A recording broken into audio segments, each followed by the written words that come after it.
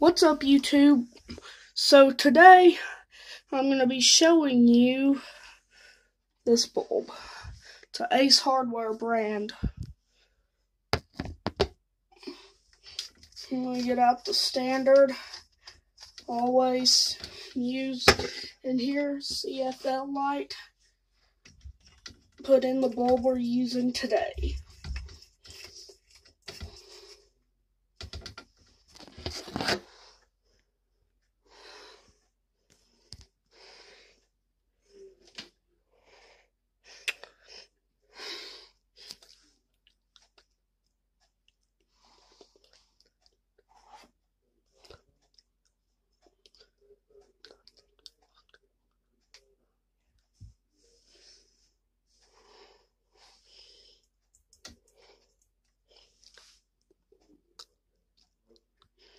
Oh, sorry, I had my mic off.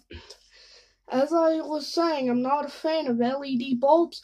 Unlike CFLs, this thing don't take forever to warm up, and